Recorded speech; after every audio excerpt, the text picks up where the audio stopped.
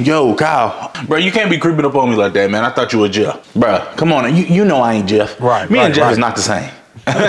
me and Jeff is totally different. Right. Now I'm a regular worker. He he always trying to write people up. Exactly. You know, I, if I was manager, I wouldn't write nobody up. Right, I right. feel you. Mm-hmm. I wouldn't do. I wouldn't write nobody up. Come on now. And you know he be snitching. He doing. Right, exactly. You know, he, you know, you know, Jeff be trying to tell upper management. I'm glad he be, you try- he be trying to tell uh, Mr. Robinson Right, everything. right, Come I'm on, glad I you don't snitch to nobody. Like, do do I look like I'm a tell? Nah, nah, nah. nah, Come on, nah, be be for real. You just got back from lunch, right? Yeah, yeah, yeah.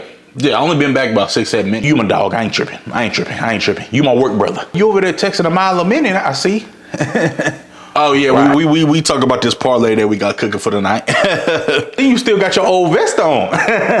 you know they giving out the new ones in, in the break room if you want to Yeah, go no, get you I know one. they giving out new vests, but I don't even like the I don't even like the new mm. fit. I, I like my old vest. I'm gonna wear it until they write me up. exactly. Might get rolled up sooner than you think. They're supposed to be sending me some help. He want me to come help you. Yeah, since you working so hard over here. Exactly. Yeah, yeah, yeah. He just gonna keep talking. All right. All right, bro. Battery's dead. Great. Oh, you you can come on in. Come on Um, in. I just want to holler at you real quick. A minute, so we're gonna have to make this quick. Kyle came back from break a little late. He made up some excuse talking about some my car, my car messed up, my car. Everybody know he be in the car smoking. Just trying to catch him before you write him up. I know protocol. I know protocol. I'm listening. You got my attention. Go ahead. You know, once I get news, you get news. Same time. Come on, we locked in. But uh, but yeah, he came back a little late. I just want to make sure you knew that. So if you see me coming back late, it's on him, not me. He also ain't got his vest on.